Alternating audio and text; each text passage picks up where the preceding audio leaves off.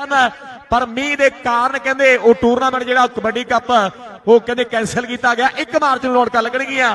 2 March ਕਹਿੰਦੇ ਟੱਲੇਵਾਲ ਦੇ kabaddi cup ਦੀ ਹੋਊਗੀ। ਪਰ ਆਹ ਪ੍ਰਸਿੱਧ ਗੀਤਕਾਰ ਕਹਿੰਦੇ ਜਗਦੇਵ ਮਾਨ ਦਾ ਪਿੰਡੂ ਇਸ ਵੇਲੇ ਵਿੱਕੀ ਆ ਨੌਜਵਾਨ ਪਾਕਿਸਤਾਨੀ ਧਰਤੀ ਸ਼ੱਬਾ ਥਿਆੜਾ ਕਾਲੇ ਕੁਲਥਮ ਕੋਚ ਨੇ ਜਾਣਕਾਰ ਵਾਅਦਾ ਕੀਤਾ ਵੀ ਅੱਧੇ ਤੋਂ ਵੱਧ ਖਰਚਾ ਡੌਗ ਟੈਸਟਿੰਗ ਦਾ ਜਿਹੜਾ ਸ਼ੱਬੇ ਥਿਆੜੇ ਵੱਲੋਂ ਦਿੱਤਾ ਜਾਂਦਾ ਹੈ ਹਰ ਸਾਲ ਇਸ ਸਾਲ ਵੀ ਮੇਰੇ ਵੀਰੋ ਉਹਨਾਂ ਵੱਲੋਂ ਅੱਧੇ ਤੋਂ ਵੱਧ ਖਰਚਾ ਜਿਹੜਾ ਡੌਗ ਟੈਸਟਿੰਗ ਲਈ ਦਿੱਤਾ ਗਿਆ ਸ਼ੱਬਾ ਥਿਆੜਾ ਹੋ ਮੇਰੇ ਵੀਰੋ ਵੱਡਾ ਨਾਮ ਹੈ ਕਬੱਡੀ ਦੀ ਦੁਨੀਆ ਦੇ ਵਿੱਚ ਪਰ ਆਹ ਮੁੰਡੇ ਦਾ ਵੀ ਦੌਰ ਚੱਲਦਾ ਹੈ ਆਹ ਮੁੰਡੇ ਦੇ ਵਿੱਚ ਲਓ ਬਿੰਦੂ ਸਵਾਹ ਵਾਲੇ ਦੀ ਧਰਤੀ ਦਾ ਲੈ ਵੀ ਜੱਸਾ ਕਰਦੇ ਗੱਲ ਮੁੰਡੇ ਦੀ ਉਹ ਕਹਿੰਦੇ। ਬਿੰਦੂ ਸਵਾਹ ਵਾਲੇ ਦੀ ਧਰਤੀ ਦਾ ਕਹਿੰਦੇ ਕਬੱਡੀ ਪਾ ਰਿਹਾ।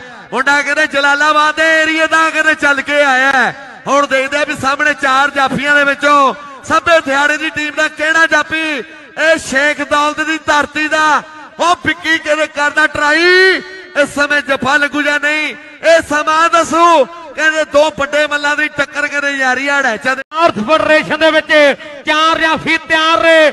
ਲਓ ਕਾਲੀ, ਇਸ ਸਮੇਂ ਚੌਂਦੇ ਵਾਲਾ। ਕਬੱਡੀ ਪਾ ਰਿਹਾ ਚਾਰ ਤਿਆਰ ਨੇ। ਬਾਬੂ ਕੁੰਡਾ ਸਿੰਘ ਦਾ ਪਿੰਡ ਹੈ। ਚੌਂਦੇ ਪਿੰਡ ਦੇ ਇਸ਼ਰੇ ਵਰਗਿਆਂ ਨੇ। ਆ ਕਦੇ ਗੋਰੀ ਦੀਆਂ ਗੱਲਾਂ ਦੁਨੀਆ ਦੇ ਵਿੱਚ ਹੋਈਆਂ। ਆਓ ਵਿੱਕੀ ਵਿੱਕੀ ਵਿੱਕੀ ਵਿੱਕੀ ਆ ਵਿੱਕੀ। ਵਿੱਕੀ ਕਰਾਤੀ ਮੁੰਡੇ ਨੇ। ਇੱਕ ਪਾਸੇ ਸ਼ਕਦੌਲਤ ਪਿੰਡ ਹੈ ਜਿਹਨੇ ਕਦੇ ਲਿਖਿਆ ਜਗਦੇਵ ਮਾਨ ਨੇ ਮੇਰੇ ਵੀਰੋ ਵੀ ਜਿੰਨੇ ਮਰਜ਼ੀ ਤੋੜ ਕੇ ਖਾਣ ਨਹੀਂ ਜੱਟੀਏ ਜੱਟ ਦੇ ਬਾਗ ਬਦਾਮਾਂ ਦੇ। ਇਹ ਜਗਦੇਵ ਮਾਨ ਦਾ ਪਿੰਡੂ ਹੈ ਤੇ ਜਗਦੇਵ ਮਾਨ ਦੀ ਯਾਰੀ ਸਭੇ ਥਿਆੜੇ ਨਾਲ ਹੈ। ਇਹ ਛੋਟਾ ਗੱਗੀ ਅਗਲੀ ਕਬੱਡੀ ਪਾਉਣ ਦੇ ਵਾਸਤੇ ਫਿਰ ਮੈਦਾਨ ਦੇ ਵਿੱਚ ਵਾਧਾ ਹੋਇਆ ਹੈ। ਇੱਕ ਵਾਰੀ ਫਿਰ ਤੋਂ ਨੋਟ ਕਰਨਾ, ਖਿਡਾਰੀ ਵੀਰ ਸਾਰੇ ਦਰਸ਼ਕ ਵੀਰ, ਵੀ 1 ਮਾਰਚ ਹੋਵੇਗੀ ਕਬੂਲਪੁਰ ਦੇ ਵੱਡੇ ਕਬੱਡੀ ਕੱਪ ਦੇ, ਜਿੱਥੇ ਸਾਡੇ ਵੱਡੇ ਵੀਰ ਦੇਵ ਮੁੰਡੀ ਕੈਨੇਡਾ ਤੇ ਜੇ ਕਬੂਲਪੁਰ ਤੇ ਲੱਛਰ ਬ੍ਰਦਰਜ਼ ਨਾਲ ਕਹਿੰਦੇ ਸਵਾਰੇ ਜਾਂਦੇ ਐ, ਹੁਣ ਬੰਦੇ ਹੀ ਸਵਾਰੇ ਜਾਂਦੇ ਐ।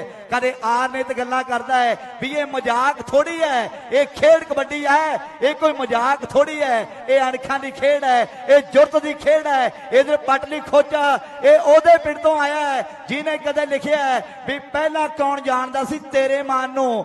ਹੁਣ ਇੰਗਲੈਂਡ ਵਿੱਚੋਂ ਮੇਲਾ ਆਉਂਦੀਆਂ ਸਦਾ ਨਹੀਂ ਹਾਲਾਤ ਮਾੜੇ ਰਹਿੰਦੇ ਬੰਦੇ ਦੇ। ਤੇ ਸਦਾ ਨਹੀਂ ਉਹ ਬੰਦਿਆਂ ਚੜਾਈਆਂ ਰਹਿੰਦੀਆਂ ਸਦਾ ਨਹੀਂ ਹਾਲਾਤ ਰਹਿੰਦੇ ਮਾੜੇ ਬੰਦੇ ਦੇ।